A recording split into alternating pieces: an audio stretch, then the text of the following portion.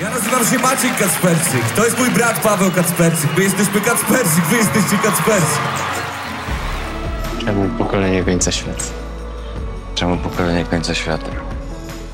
Pokolenie końca świata miało dawno nie być na. Przeżyliśmy już milenium i 2012 Przeżyliśmy już ich tyle, że nie umiemy się bać